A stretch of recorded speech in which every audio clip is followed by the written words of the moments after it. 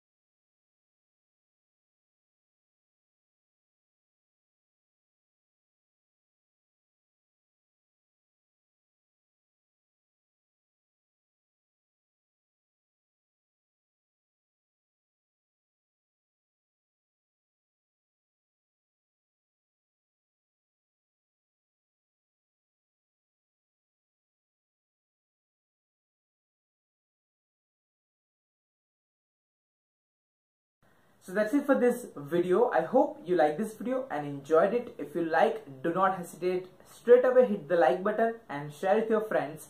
If you are new and watching my video for the first time, hit the subscribe button along with the bell icon.